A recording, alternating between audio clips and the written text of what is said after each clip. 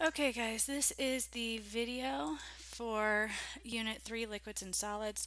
Here we're going to be focusing primarily on the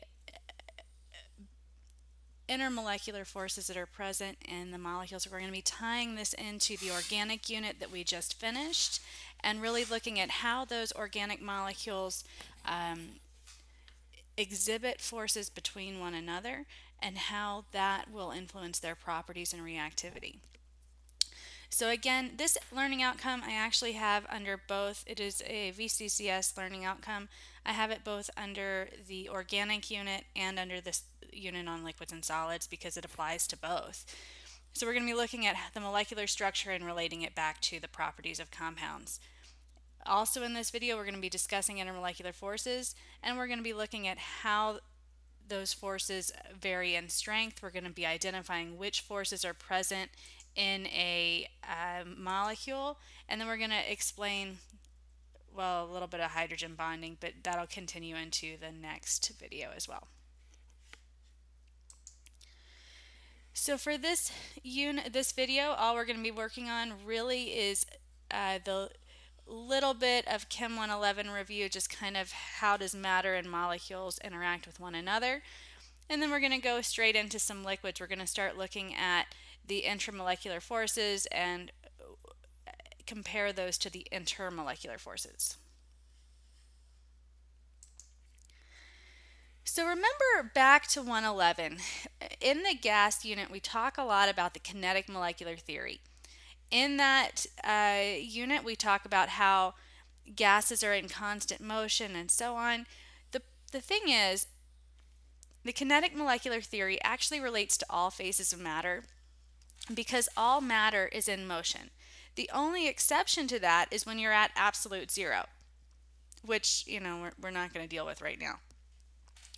The amount of motion that each type of particle exists, uh, that exhibits, is going to have to deal with the, the, the energy that it has. And that's directly related to the Kelvin temperature.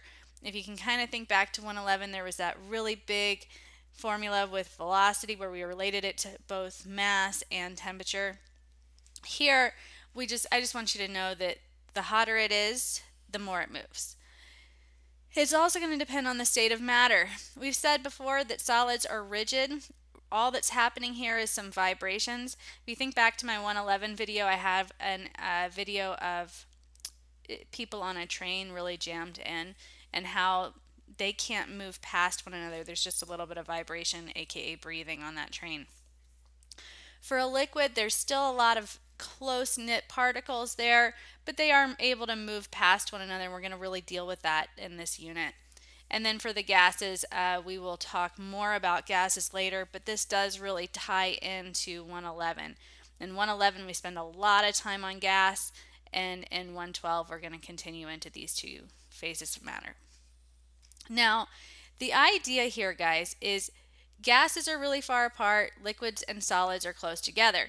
So for these two phases of matter, the, because those particles are close together, they are going to be able to interact more, okay? Now, if you think back to um, just any example of where you have walked down the hall, if you see, you know, a friend on the far end of the hallway, you might be able to wave, which is pretty much all that a gas can do. They're so far apart they don't really see each other. But if you're in a jam packed hallway or in class sitting next to somebody, you're going to have a little bit more interaction. You can't just ignore somebody that's, you know, right there. And so it's those interactions that we are going to really focus on in this video.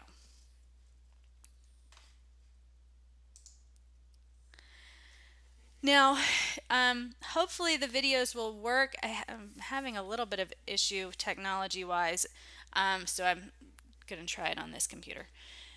So the idea behind the kinetic molecular theory is that particles are in constant motion. Now, the, because the energy is related to, hmm,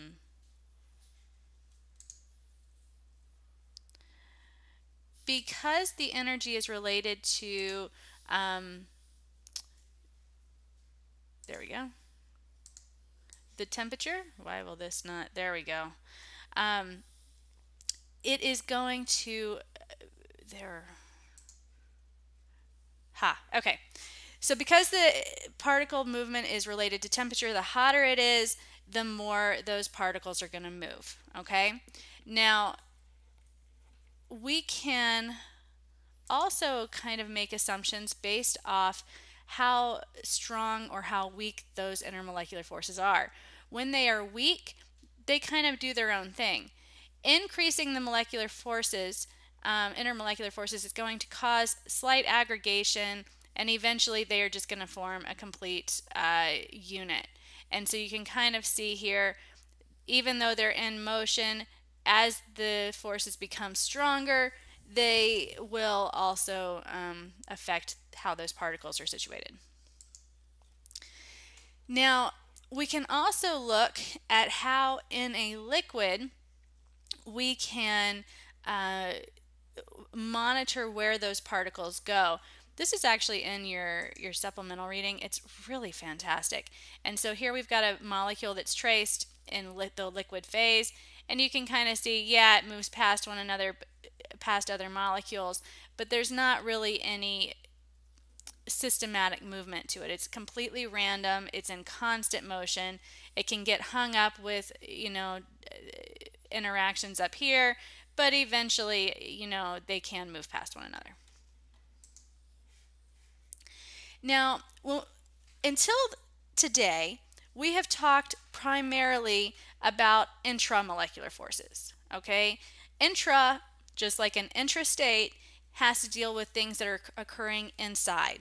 So we've been dealing with ionic and covalent bonding. We talked about how ionic bonds occur between metals and nonmetals.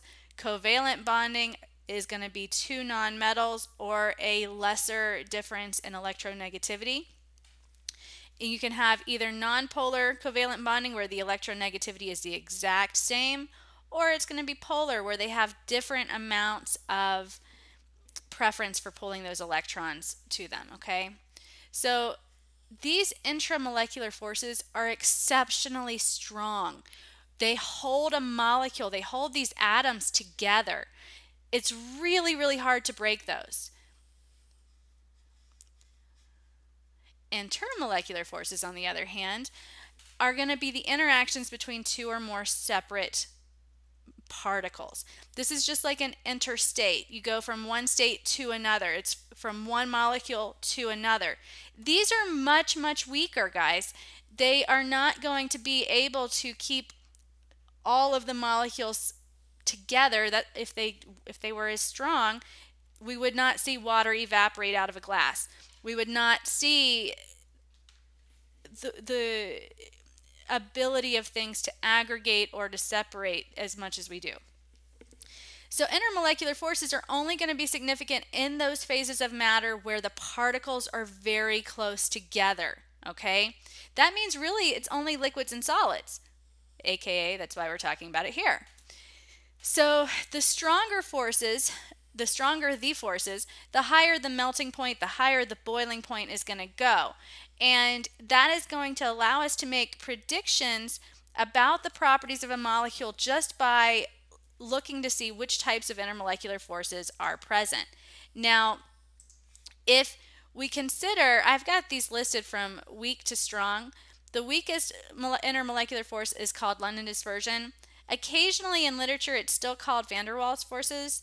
So you might see these two, but they're interchangeable terms here. I typically stick to London dispersion um, because that seems to be the new model, but those terms are both used to mean the same thing. Then there's dipole-dipole forces, which are pretty strong. The strongest type of dipole-dipole force is hydrogen bonding. Okay, that's, there it goes. So let's look at the London dispersion forces. These are the weakest of all intermolecular forces, and it's present in everything. No matter what molecule we're talking about, it has London dispersion. It is a force that results from a temporary dipole, a temporary unequal sharing of electrons. And so something like CO2 or methane, where we would consider that to be a completely nonpolar molecule because all of the bonds, you know, would cancel out, can be temporarily disturbed. Think about, you know, a, um, a friend that might be in a good mood all the time. You can still irritate them sometimes. And so we just like, you know, a random bad mood, a molecule can have a random bad distribution of electrons, okay? Now, these are really, really weak.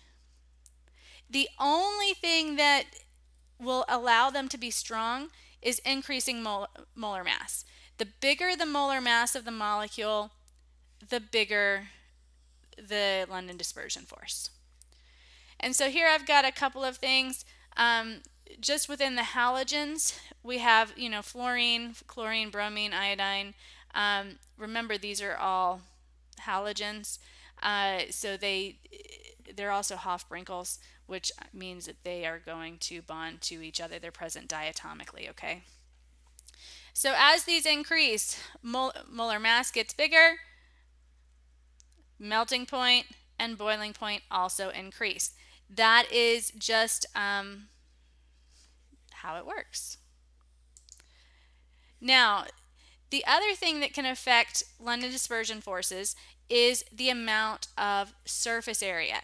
And so if you are really kind of rolled up and condensed, what's going to happen is you have less attraction, you have less ability to reach out and grab or interact with a another molecule, okay?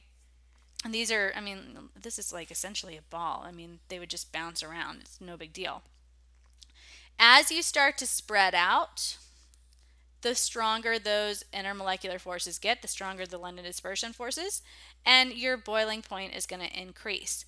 Now, if you look at uh, even within another family, again, we have slight atomic radius increase here, or actually a big one, within the same family. As the molar mass gets bigger, the boiling point also gets bigger, okay?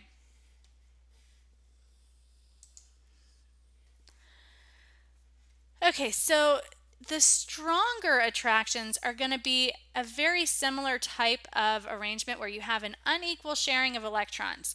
So you have a partial negative and a partial positive side. The difference here is that that distribution is permanent. It's not going to be there for a split second. Instead, it's going to be a more permanent arrangement. And because of that, it is going to allow us to really see um, a more lasting interaction, which is going to have a bigger effect on boiling point, melting point, and so on. Now, if we look at um, where these types of types of interactions are going to be, they're going to be in molecules that are polar. Things like an alcohol things like uh, halohydrocarbons where the halogens don't you know cancel each other out. They're going to be present in those categories of molecules that are more polar. Now if you look the strongest type of dipole dipole is going to result from hydrogen bonding. Now, hydrogen bonding is not a covalent bond. Instead, it's going to be present in molecules that contain either an NH OH or SH bond, and FH also kind of counts in, counts in there. Now, there's a little bit of debate in the literature. Sometimes you only see three of the four, sometimes you see all four. So I want you to make sure that you guys have seen all of these. You know, SH bonds occur primarily in like cysteines, proteins, um, thiol compounds. Um, OH bonds, you know, we have the alcohols, we have carboxylic acids all those types of compounds that we dealt with in the last unit. And amines, NH bonds are really almost as strong as those OH bonds. The idea is you have a highly electronegative atom with bonding to a hydrogen which wants to donate its electron density. So you get a really strong partial negative on the electronegative atom and a partial positive on the hydrogens. That is going to allow for interactions between the two partials, okay? And so, like, you know, partial positive, partial negative. Well, usually if you have an OH bond, the electron pairs on oxygen, the electron pair on nitrogen or on sulfur will interact with the partial positive on the neighboring on the the hydrogens of the neighboring molecules. And so usually you can actually have several interactions. You can see this oxygen is interacting with this water and it's probably going to be interacting with something up here as well. It ends up keeping those molecules really well connected. They're not covalent bonds, they're not as strong as that, but because of these all of these interactions, you tend to be more close knit. And so water has a lot of properties that we're going to be discussing uh, this unit and really for a while that allow it to behave differently than we might expect. It's got a very low molar mass. The London dispersion force in water is very, very low. But it has this hydrogen bonding, which is a type of dipole dipole, that is really, really strong. Okay, so if we look at, there it goes, um, things that have hydrogen bonding compared to things that do not. Um, now, remember, guys, the bigger you get, the stronger your London dispersion. But um, those hydrogen bonds do not account for as much as you would think. So here we've got H2S, HCl, and PH3. There we go. Um, as you get bigger, the the boiling point goes up, but the point that I want you to see here is that things that have hydrogen bonding, H2S, um, while they do go up with molar mass, hydrogen bonding has an effect. You can kind of see this is not linear. This is not, you know, quite linear. Now, even more important, guys, if you really consider how the hydrogen bonding in H2O, HF, and H3 these have really small molar masses compared to these. So you would expect the boiling points, the melting points to be down here, but they're not. The reason that these hold together in the liquid phase so well is because of hydrogen bonding. And same thing, guys. I know that not everywhere is including the H2S, the HS bonds. I still do because I know it has a huge impact in biology.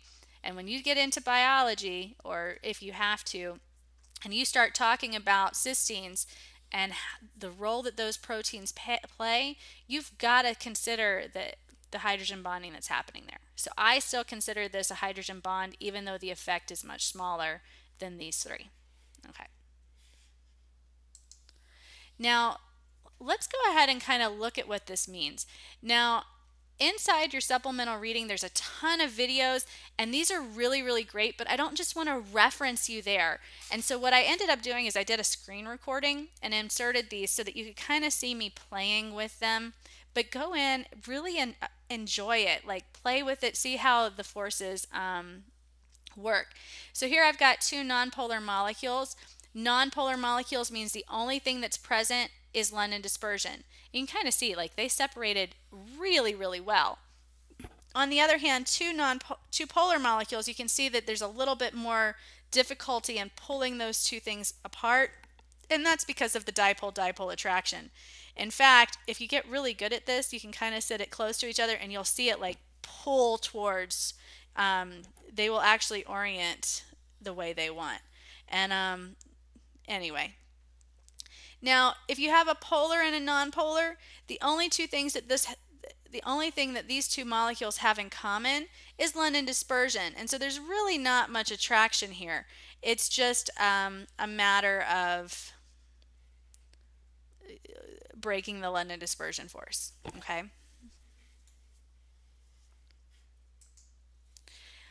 Now, if we were to look at molecules that have a different polarity, what's really kind of neat here is that um,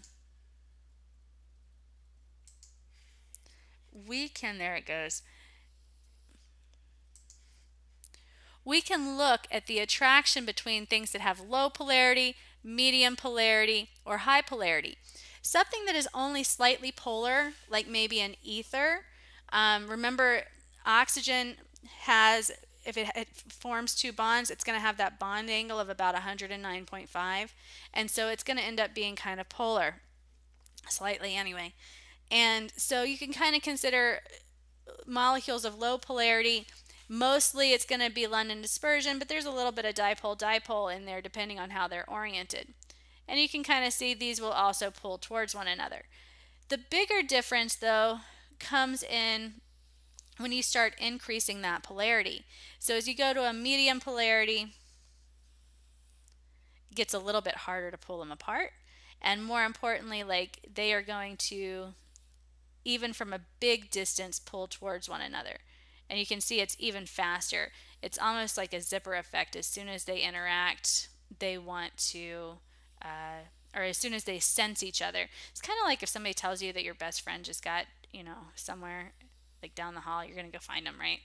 Um, and you can see it even now moving slowly. It's still trying to orient and it's going to zipper right to each other.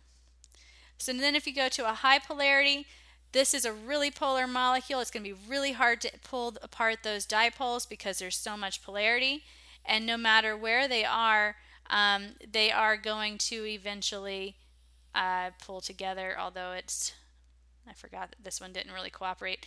It's really interesting. So you have the mouse and the little star is on a, like a spring system. But you can see this even from a greater distance found each other. They've interacted that way. Okay. So the higher the polarity, the bigger the dipole, the stronger the intermolecular forces. Now, we can also look at hydrogen bonding. This was, you know, one of my least favorite videos.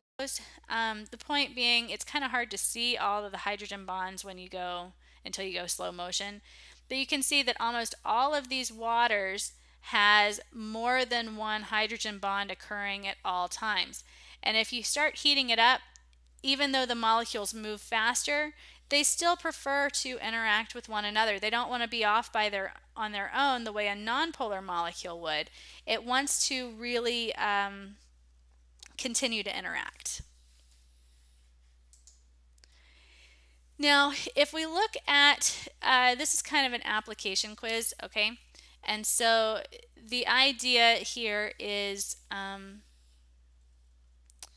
you should consider the type of attractions then that these molecules are going to have and then you can test yourself by playing around. So go ahead and hit pause and think about two H2 molecules. What kind of interactions do they have? At this point I'm going to assume that you have pressed play and you should realize that H2 it's two atoms of itself bonded together. Um, it's nonpolar and two nonpolar molecules, the only intermolecular forces they have are um, London dispersion forces. And so these are going to be really weak interactions. It's going to allow these molecules to be pulled apart very quickly. And so you can kind of test that. There it goes. And there's no interaction, there's no attraction between these molecules whatsoever. Now go ahead and hit consider BR2, BR2 and kind of consider what type of interactions they have. Again, at this point, I'm going to assume you've hit pause. Again, we have two nonpolar molecules. The only interactions they can have are London dispersion forces. And so you can pull them apart easily, but more importantly, they're not going to try to come back together. Now go ahead and consider HBr and HBr. Here we've got hydrogen, which is on the left of the periodic table, Br, which is on the right. There's going to be a high difference of electronegativity. And so this is going to be a polar molecule. So you have two polar molecules interacting. Um, so you have both London dispersion forces and dipole-dipole forces. Now this is not hydrogen bonding. There is no OH. There is no NH. There's no FH bond here. HBr is not going to exhibit hydrogen bonding. It only has dipole-dipole and London dispersion. And so if I hit play here, you can kind of see not only do these molecules take a little bit more energy to break apart because of that dipole, come on, there you go, but they will also orient themselves very well, okay? In fact, these are highly polar, and so if you if they're close enough together, they will actually interact um, and pull together. Kind of like that. Okay, so last example, H2 and Br. Here we've got a nonpolar molecule and a polar molecule. Only thing that these guys can do together is London dispersion. And so you can kind of see like you have to be exceptionally close before, um, actually that interacted with the star. I don't think it's supposed to do that. Um, London dispersion is very weak. It's only going to pull together a little bit. It's not like those polar molecules that we were seeing. Okay, so if you consider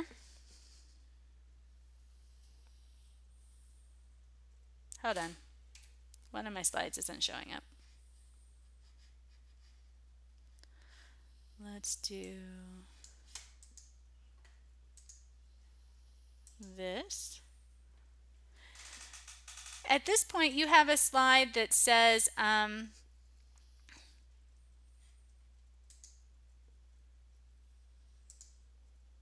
there it goes. What intermolecular forces are present in the following molecules? I went ahead and wrote the structures down. Go ahead and hit pause and try to do that because that is a really good review from the organic unit, okay? Um, once you've done that, go ahead and hit play again and we're going to move into those. So let's go through these one at a time. Personally, I really like to see um, the molecule molecular structure while I'm typing this, but that's just me. And so um, let's go ahead and zoom this in. Good enough. Um, get rid of this, and we'll get rid of that. So if we consider these molecules, ethanoic acid, we know just because it exists, there's London dispersion. We also know because there is this oxygen on this side but not over here, there's got to be dipole-dipole forces. And finally, we know because of this OH bond that ethanoic acid can, exi can exhibit hydrogen bonding. Let's move that over a little bit. Okay? So let's go into the next one. Um, ethanol. Ethanol, again, it, it's a molecule, so it has to have London dispersion. It has an oxygen on this side. It doesn't cancel. Um, the bond angles around this oxygen are going to be about 109. And so there's a polar end here. So this is going to have dipole-dipole. And then because there is an OH bond, there is going to be hydrogen bonding. Now, if we look at ethanol, ethanol is a little bit different because it does have London dispersion. I'm going to stop there. Um, it does have Um, a little bit of a dipole because of this oxygen right here. Maybe not as great as um, like up here where there's two, but still it's got a good dipole-dipole. But there's no hydrogen bonding. There, there is hydrogen, there is oxygen, but they're not bonded together. So there's no hydrogen bonding here. Okay, so let's go up to dimethylamine uh, which should be all one word. Silly me. Now, if you look at this molecule, it is a molecule, so it must have London dispersion. And nitrogen right here is much more polar than the carbons. So this is a polar molecule, which means it has a dipole-dipole interaction. And it does have um, this NH bond that's required for hydrogen bonding. So it can exhibit H bonding. Now, if we look at propanone, again, kind of remember, guys, anytime a carbon only has three areas of electron density, this sp2 hybridization, bond angles here are 120. I cannot tell you how hard it is to draw all that in three dimensions on here, but it should be bond angles of about 120. So you have a polar end up here, nonpolar end down here, and it ends up being um, not only is there London dispersion, there is also going to be uh, a dipole. Now, same as with dimethylamine, there's no hydrogen bonded to oxygen.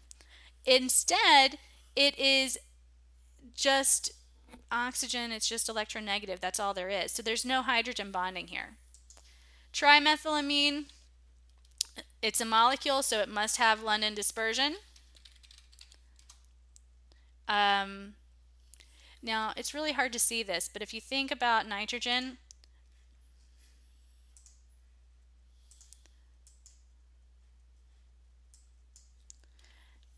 Nitrogen technically has, uh, if you were to do the Lewis structure here, it's got two electrons up here and then one on each of three sides. So even though the three bonds are visible, you really can't see the lone pair. So technically, this is going to be polar. This is an sp3 hybridization around that nitrogen.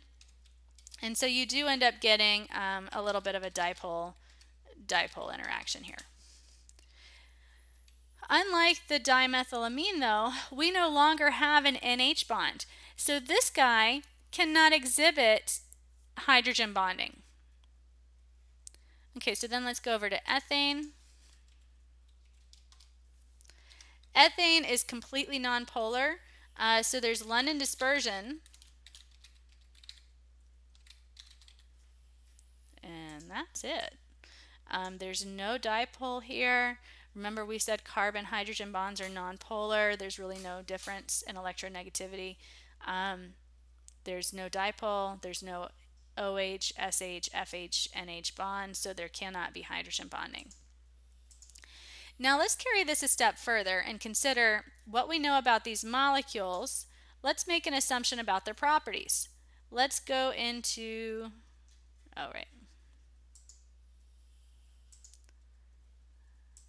There it goes, sorry. Um, which of these would you consider to have high versus low melting points? Now, I'm not going to give you like a list this long on your exam. Instead, what I really want you to know is should it be high or should it be low? Okay? And we can kind of go through this one at a time and consider the intermolecular forces that are present. For example, ethanoic acid we know has uh, hydrogen bonding in addition to the other two. So this should be a high melting point. Same thing with ethanol. This should be high. This did not have hydrogen bonding. It only had that dipole uh, force, so it's going to be kind of medium. Okay. Dimethylamine. Here we have um, an, uh, hydrogen bonding again, so this is going to be high propanone. If we go back to propanone,